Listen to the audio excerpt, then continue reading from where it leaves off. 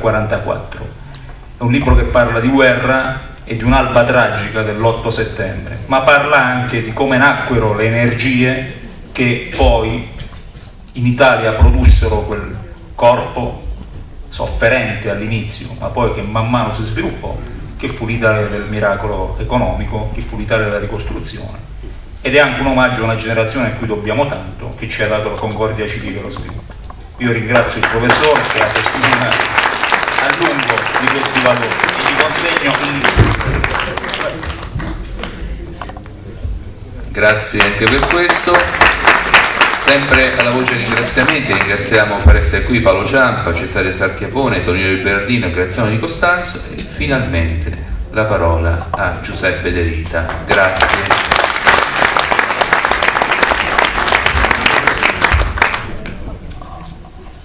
Quest'ora predica breve, eh, perché sono le 8.25. Prima tutto scusate se abbiamo fatto tardi perché sono arrivato tardi io. Ultime due volte che sono venuto a pescare sono arrivato tardissimo, questa sera l'avete visto, la volta precedente ero andato in parrocchia Cristo Re dai Gesuiti e, e, mi sono perso lì per le colline del, della parrocchia e quindi sono arrivato anche lì con 40 minuti di ritardo. La prossima volta che vengo eh, prometto che non farò ritardi. Io farò una riflessione non così calda, non così eh, precisa, puntuale come quella questi, dei colleghi di questo tavolo. Cerco soltanto di fare una riflessione che permetta quel tipo di riflessione che tutti quanti noi abbiamo considerato essenziale. Perché? Perché secondo me, credo che abbia ragione, eh, abbia avuto ragione eh, Ferilli, Fusilli, come sbaglio, Fusilli, a dire siamo in periodo di latenza. La latenza. La latenza è un momento in cui qualcosa nasce, qualcosa diminuisce, qualcosa appare, qualcosa non appare. E su questo argomento noi siamo in latenza. Siamo in latenza perché eh, anche tutto quello che ci gira intorno permette e impone la latenza, cioè utilizzare questa sospensione del tempo per capire dove andare. Io non credo onestamente che la riforma costituzionale di cui si parla andrà in porto prima della fine della legislatura, perché avete già visto il problema dei piccoli comuni o delle province passa in secondo livello rispetto alla lettera, alla CE e al potere della banca centrale ai licenziamenti facili, ai giornali di oggi. I meccanismi dell'opinione politica vanno per proprio conto e quindi noi abbiamo il tempo per riflettere perché non ci sarà una riforma in quella direzione. Così come non abbiamo il tempo di trangugiare, ruminare eh, il federalismo fiscale perché è stato giustamente detto, è stato fatto malissimo e quindi in qualche modo quello che è importante è che si sposti per fare una riflessione nel periodo di latenza, si sposti il livello e il luogo della formazione dell'opinione. Perché se il, il luogo dell'opinione, della riflessione, della proposta resta Roma, è evidente che basta lanciare l'idea, dobbiamo controllare i costi della politica, dove andiamo, le province, eliminiamo le province, i comuni, riduciamo i comuni, qualsiasi cosa va bene. E basta un po' d'opinione pubblica, un po' di giornali, un po' di discussione in Parlamento per creare una situazione di quel genere. Una situazione in cui la riflessione sulle cose non avviene mai più come sarebbe giusto in un periodo di latenza all'interno del, dell'oggetto, del soggetto, della realtà da modificare, ma avviene fuori. A livello locale si lascia non un meccanismo di riflessione politica vera, ma si lascia la discussione sui meccanismi con cui si potrebbe applicare l'eventuale riforma di. Come dico io, con qualche cattiveria, a livello locale si lascia il pennarello perché col pennarello ridistribuisci i confini, rifai, riaggreghi le città, riaggreghi i comuni, ma quello non è politica, non c'è nulla nel pennarello che abbia a livello di politica. Certo, livello locale si discute mille volte sul pennarello, è meraviglioso, discutere se quel comune deve entrare o non deve entrare, deve collegarsi con l'altro, se deve combinare nella grande città, nella media città, nella, nell'area metropolitana, ma non è quello il problema. Il problema è in qualche modo di studiare come in questo periodo di latenza si pone il problema del rapporto del territorio con il potere. E, sappiamo tutti che non sempre il grande è il maggiore potere. Più grande si diventa in alcuni casi, più si ha una classe dirigente di, di basso profilo, di minore responsabilità in alcuni casi in Italia abbiamo visto il grande accompagnato da una mediocre classe dirigente. Così come il piccolo, non sempre bello, alcune volte ha anche i suoi difetti da questo punto di vista. Pensate ad esempio che un discorso di riflessione in periodo di latenza oggi su questi argomenti che stiamo discutendo andrebbe depurato da una parte tut- del pennarello, da una parte della opinione facile, aboliamo le province, facciamo qui, facciamo là, andrebbe depurato anche dai due grandi vizi che abbiamo, il centralismo regionale, che in fondo modifica totalmente il nostro modo di ragionare sul territorio, e dall'altra parte il, il, il clientelismo localistico che in qualche modo poi cambia anche le regole del gioco, anche delle delle poesie che ci diciamo fra di loro. Allora andiamo a vedere quali sono i punti di riferimento di una riflessione di questo genere. Senza ideologie di piccolo e grande. Io stesso mi spoglio del fatto che vengo considerato il profeta del piccolo, non mi interessa. E, e vado su tre punti fondamentali. Il primo punto fondamentale è se un sistema moderno vive di logica gerarchica o di architettura distribuita. Di solito il nostro meccanismo mentale è che se c'è un, un sistema da governare si fa la piramide, si fa il, si fa il, il meccanismo gerarchico. Perché? Perché siamo tutti figli del nostro liceo, ci hanno insegnato che il, ogni sistema va governato come il corpo umano, con l'Apologo Imeneo Agrippa, i singoli arti, i singoli terminali del sistema non hanno altro che il potere di rinviare al cervello, al sistema nervoso centrale, dei messaggi, poi messaggi, il, il cervello rinvia il messaggio. Non è più così. Questa idea, diciamo così, eh, fisiocratica del sistema come corpo umano andava bene Melania Grippa, ma oggi che ci sono eh, i, i, i, tutti i sistemi sono distribuiti e l'architettura distribuita che va. Molti di voi ricorderanno che quando a un certo punto arrivati, è arrivata l'informatica nelle banche, le banche avevano il cervellone, interi, sotto, interi cantine fatte di grandi calcolatori enormi, sempre più potenti, dove arrivava tutto e poi doveva rispedire all'esterno. Non è successo. Oggi le banche, come ogni sistema moderno, funzionano ad architettura distribuita, funzionano addirittura con le singole filiali o i singoli punti di potere che dialogano fra di loro senza passare per il centro questa idea di passare per il centro con una gerarchia del processo di informazione verso l'alto e il processo di decisione dall'alto verso il basso non funziona più. E quindi non è un problema di piccolo o medio, è proprio un problema intellettuale. Oggi i sistemi complessi richiedono un'architettura distribuita dei poteri. Ci sono 100 comuni, 100 comuni hanno probabilmente dei poteri che possono circolare fra di loro, colloquiare fra di loro, possono anche non andare al centro, non possono andare a chiudersi in, in una punta della piramide che poi non funziona. essere, e essere moderni oggi significa governare sistemi con una cultura di architettura distribuita. Secondo, governare i sistemi complessi oggi significa governare sapendo benissimo qual è la dimensione di equilibrio fra dimensione orizzontale e dimensione verticale.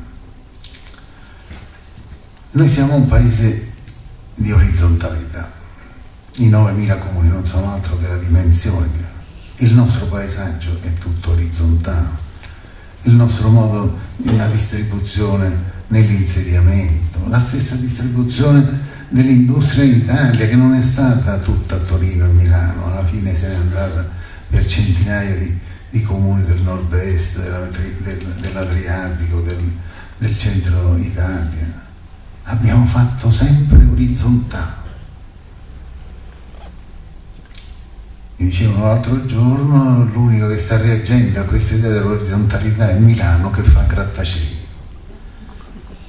e, e, venendo in macchina da Roma a qui mi sono guardato intorno per vedere qual era l'edificio che avesse più di, di 4 o 5 piani. Non ho trovato. Soltanto entrando a Pescara ho trovato qualche torre più alta. Il problema nostro è che con l'orizzontalità sfruttiamo benissimo il terreno, viviamo bene, facciamo un rapporto con il territorio dignitoso, però non abbiamo mai questa capacità verticale di contare, di vedere dall'alto, di dire dall'alto cosa si bisogna fare. Restiamo piatti piatti. Allora il secondo problema che abbiamo è avere un'architettura distribuita, ma avere anche dei luoghi in questa architettura distribuita che facciano un po' da, da non da grattacielo, ma almeno da qualche cosa che permetta di vedere il nuovo. Non per fare un grattacielo a, a pescare, due grattacieli, tre grattacieli, ma qualcosa che almeno veda l'altra sponda dell'Adriatico, per dire, veda gli orizzonti, abbia capacità di vedere l'orizzonte. Noi abbiamo tutti orizzonti praticamente chiusi. Se avete una regione di montagna veramente l'orizzonte è più spesso chiuso che aperto, ma ci vuole questa dimensione di qualcuno che nella realtà faccia la funzione intellettuale del grattacielo, che sa vedere l'orizzonte e sa indicare la strada. Terzo elemento dialettico per fare una riflessione su quello che abbiamo fatto c'è bisogno di una dimensione meso, di una dimensione intermedia. L'Italia in questi giorni, devo dire anche con questa strana balletto sulla, sulla lettera della BCE, della lettera di Berlusconi, eccetera, eccetera, sugli articoli del professor Giavazzi ed altro, naviga verso una dimensione fantasmatica che potremmo dire ognuno per sé nell'egoismo di mercato e francoforte per tutti. Il mercato innanzitutto, sbaracchiamo tutto, sbaracchiamo il sindacato, sbaracchiamo i contratti, sbaracchiamo leviamo tutti i vincoli in modo che tutti possono essere dei piccoli marchionne che fanno il cavolo del comodo loro. Perché poi alla fine se c'è un problema, c'è Francoforte c'è il dottor Draghi adesso, c'è il potere finanziario, c'è la possibilità di comprarci una parte del nostro, del, dei, dei nostri bot quando li dobbiamo emettere. E il mezzo che rimane? Rimane un governo che non esiste, rimangono delle regioni che hanno poco potere, rimangono dei sindacati dequalificati e delegittimati. Chi rimane? l'unica struttura che ha saputo sempre governare il mondo da duemila anni a questa parte è la Chiesa e la Chiesa ha sempre mantenuto il vertice del Papa che sa tutto, i parrocchiani alcune volte anche ignoranti, ma in mezzo c'era, c'era, c'era il vescovo, c'erano, c'era, c'erano i cardinali, c'era una dimensione intermedia, c'era la dimensione meso. Allora questi tre argomenti fare un'organizzazione del potere ad, ad accettare la inevitabile struttura ad architettura distribuita del potere, avere una dimensione equilibrata fra orizzontalità del nostro sguardo e verticalità delle nostre esigenze di orientamento.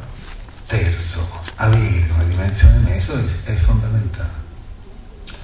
Ma la dimensione meso, che è il punto a cui arrivo adesso, perché è quella che poi viene, arriva a piedi giunti nel discorso che avete fatto tutti, la dimensione meso qual è?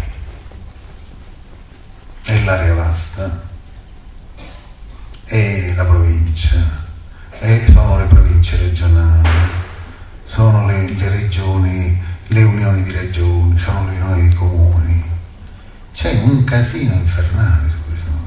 Parliamo tutti di area vasta, io confesso che per molti anni ho visto, e lo dico, lo ripeto, ho visto nella provincia la possibilità, una provincia rivisitata, ristrutturata, di fare area vasta contro tutti i processi di riorganizzazione del territorio, può darsi che sia sbagliato, però quello che è certo è che un discorso meso va fatto, che un discorso d'area vasta va fatto, che qualcuno che si, si occupi dei problemi dell'area vasta va, va, va.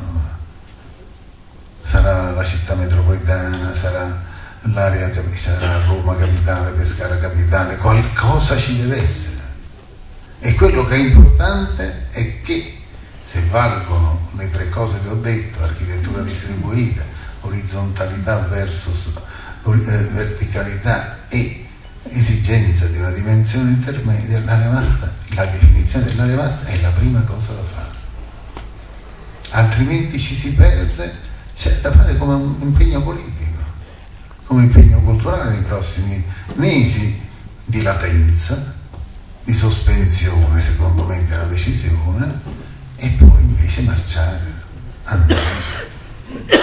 Secondo me chi si gioca, io sto vedendo nella regione Lazio, chi si gioca il, la responsabilità di fare l'imprenditore di un'idea di basta,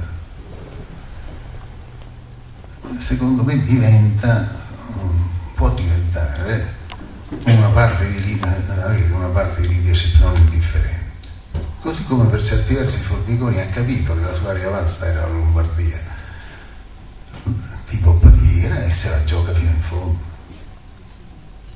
Dice, ma noi non ci abbiamo la Lombardia tipo Baviera, eh? bisogna cercarsela, bisogna trovarsela come unione di regioni oppure come meccanismi infraregionali che permettano una dimensione di rapporto. E quali sono i criteri per definire l'area vasta? Sono sostanzialmente tre. Primo, dove si controllano i flussi, dove si aggregano gli interessi, seconda cosa. E terzo, dove si fare prossimità e vicinanza con la gente. Questi sono i tre punti. Un'area vasta definita col pennarello non funziona. È il ruolo che fa l'area vasta è la funzione, già stato detto prima. Se la funzione è incardinata sui flussi, allora bisogna capire quali sono i flussi che si governano. Se il flusso che si vuole governare è il rapporto con l'est europeo, eh, è una cosa diversa in termini di organizzazione dell'area vasta che se il flusso si pensa di rivolgersi a Roma.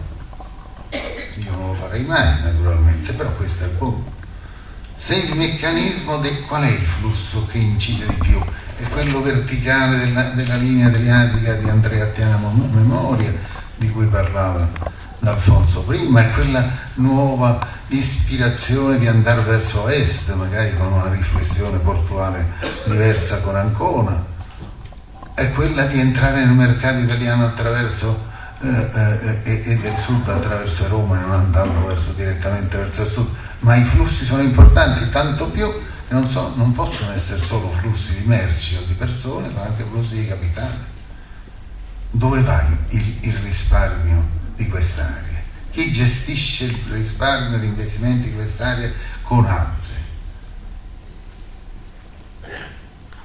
qual è la dimensione dei flussi finanziari oltre che dei flussi di merci in una realtà come questa. Se si capisce dove stanno i luoghi in cui c'è il governo dei flussi finanziari, di merci, di intellettualità, la citazione dell'Università d'Ancona non è eh, di basso profilo, perché anche i flussi, i flussi di se un'università non, non conosco l'università abruzzese, quindi mi, mi, esimo dal parlare, ma conosco tante altre università che non sono altro che dei luoghi stanchi per fare lauree inutili triennali. Se invece, come è stato citato ancora, io ho amato moltissimo perché una delle, cose, delle persone con cui ho avuto più consonanza è stato Giorgio Fuà, proprio perché anche lui c'era questo senso del policentrismo dello sviluppo, beh allora è un'altra cosa. Quindi per definire l'area vasta di riferimento è il ruolo dell'area vasta nella gestione dei flussi. Secondo, il ruolo dell'area vasta nella gestione dei luoghi, lo metto per secondo perché secondo me è secondario, perché solo i flussi danno potere, i luoghi danno sistemazione. È evidente che, devo, che oggi in Abruzzo, ma in tutta l'Italia centrale, c'è un problema di rapporto con, fra i territori, fra i luoghi, fra la città e il suo retroterra, fra la città e i suoi rifiuti e le sue discariche, fra la città e il, e il rinselvatichimento di cui parlavamo, prima il problema dei luoghi è importante, non è a mio avviso non è il prioritario, il prioritario è il ruolo nei flussi, il secondo è il ruolo nei luoghi. E il terzo, è terzo, lo metto per terzo, però ce lo devo mettere per dovere civile, ma anche per convinzione di uomo di, di coesione sociale, è i servizi e la prossimità con la popolazione non è che le istituzioni fanno i flussi, i luoghi, eh, i, i, pennarelli, le trasformazioni, le istituzioni, i tagli dei comuni, si fa, si, sono, è la prossimità alla gente che fa le istituzioni. In in una riunione a Campobasso qualche mese fa, forse un annetto fa, mi sono ritrovato con i sindaci dei comuni che dicevano non ci, non ci colpevolizzate se non abbiamo saputo far nulla con i fondi europei. Sì. Abbiamo fatto soltanto ripavimentazione e marciapiedi e non ce ne vergogniamo perché la nostra popolazione è anziana e le buche i marciapiedi troppo alti fanno cadere. Io ho guardati sconvolto naturalmente da tecnocrate programmatore quale sono nato, però alla fine li ho capiti e non è un problema di consenso, è un problema proprio di adesione alla gente. Allora queste tre cose, l'area vasta che, regola, che si inserisce con un potere sui flussi, l'area vasta che organizza i luoghi, l'area vasta che rispetta la prossimità della gente, questa, questi sono i criteri per definire l'area vasta. Sarà la grande pescara, sarà la piccola Pescara, sarà eh, l'unione dei comuni interno, sarà, fate quello che volete, mi interessa poco, però il giorno in cui dovessi venire qui a fare una verifica se, del passo ulteriore che fa questo eh, momento che, che farete, come io spero, in questo momento di latenza, su queste tre cose sarete giudicati se la definizione di vasta è fatta con questi tre criteri se, e con una cultura di star dentro un sistema ad architettura distribuita, un sistema che è sì orizzontale perché quella è la nostra storia, ma che ha anche dimensioni verticali, con un sistema che abbia capito che l'area vasta è fondamentale. Ultimo punto, l'area vasta per queste cose qui, scusate?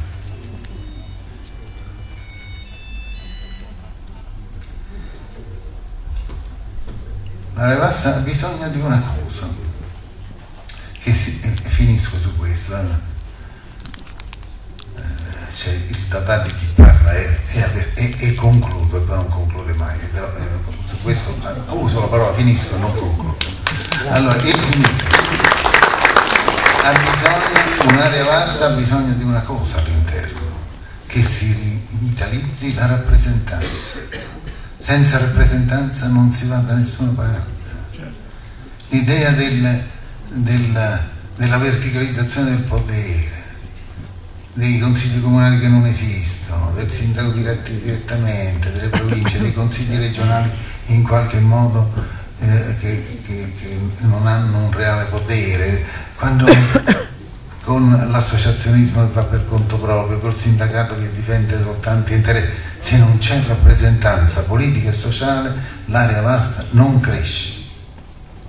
È il sangue di una, non di una democrazia, non sono retorico, non di una coesione sociale, non sono neppure ancora in questo caso retorico, ma del funzionamento minimale di una struttura istituzionale, è la rappresentanza. L'ho scritto ieri o l'altro ieri sul Corriere e quindi non voglio ripetermi, ma questo è il punto fondamentale. E allora se oggi siamo qui in tanti centinaia di persone, dobbiamo sapere che tutto il dibattito che abbiamo fatto finora poi si traduce in qualche cosa, in qualche forma di partecipazione e rappresentanza. Non si fa la novità con una leadership verticalizzata, fosse anche di persone intelligenti come il mio amico D'Alfonso, non si fa eh, eh, area vasta con meccanismi, diciamo così, di pennarello, di articolazione o di contrattazione politica o con una politica debole, si fa con una rappresentanza politica rivitalizzata e con una rappresentanza sociale forte. Per questo, per questo sostanzialmente anche la mia esperienza di dieci giorni fa mi ha dimostrato che se, senza rappresentanza neppure la Chiesa riesce oggi a, ad avere un reale potere, può fare prediche, può fare giudizi di valori non negoziabili, può addirittura chiedere il cambiamento di governo ma non ha potere, perché sono i flussi interni di rappresentanza che fanno la forza di un'istituzione. Ecco, queste sono le cose che avevo da dirvi. Mi perdonerete se non sono entrato sui rapporti con Francavilla, con, eh, con, con, tutti i, i comuni del territorio. Se, uh, con guardie greche o con pene, per carità, non grazie, grazie. Eh, lascio, come dice Giuseppe Antonio, eh, eh, no, Giuseppe Antonio, mi sono sbagliato, no? Io proprio sono... Non hai detto bene. Giuseppe Antonio, lascio la, la, mia nostalgia per guardie greche, dove ho fatto una delle mie prime ricerche nel 57-58, quindi siamo in, in, in tempi storici o preistorici, però questo meccanismo è un meccanismo vero. Quello che importa è ragionare non tanto con meccanismi tradizionali dicendo abbiamo 10 mesi, 12 mesi, 15 mesi, forse due anni di latenza delle decisioni su questo punto, prepariamoci per una proposta che abbia le caratteristiche o le motivazioni che ho detto prima. Grazie.